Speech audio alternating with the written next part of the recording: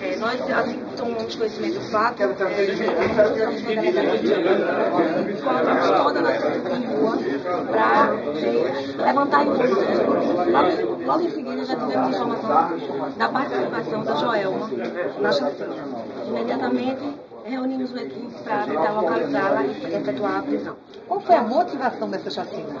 A motivação teria sido, além de vingança, pela morte da, da, do irmão da, da autora, Joelma, é, tráfico, brigas por vistos de tráfico de drogas na localidade.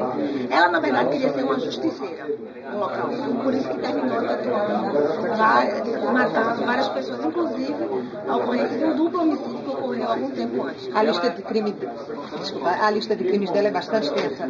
É, ela já tem, você imagina, há uma chacina, um duplo homicídio em tão pouco tempo, porque foi de agosto para agora, início de setembro, e antes disso ela já havia tentado é, um, outro, um outro homicídio, fora os vários roubos que ela praticava tráfico de drogas na localidade. Ela teve acesso, inclusive, a uma arma que é exclusiva das Forças Armadas que ela teria comprado. Isso, segundo ela, ela adquiriu na faixa de dois mil reais, sabe? Isso já mostra que ela estava com poder é, econômico para estar tá relacionada ao tráfico de drogas para comprar uma arma desse calibre, né?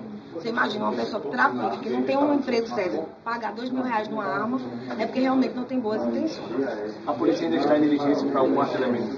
Isso, continuamos em diligência para o quarto elemento, embora já tenhamos a identificação, não, não podemos divulgar no momento para não prejudicar nossas investigações. O Davi também teria algum motivo nesse crime?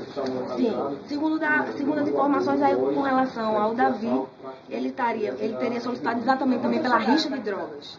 Né? Então, ele teria terminado, terminado executando esse crime também, em virtude dessa rixa. Delegado, foi um trabalho conjunto da Polícia Civil e Polícia Militar. Quem foi envolvido nesse trabalho?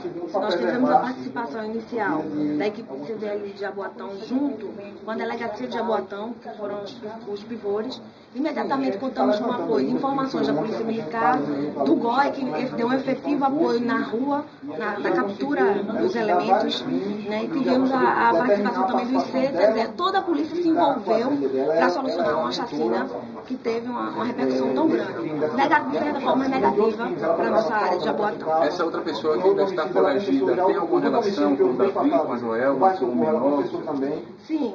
Com certeza, eles eram, participavam desse tráfico né, de drogas, em conjunto. Né? Então, a gente só não pode revelar mais informações para não, não prejudicar a, a, a nossa captura posterior. Okay?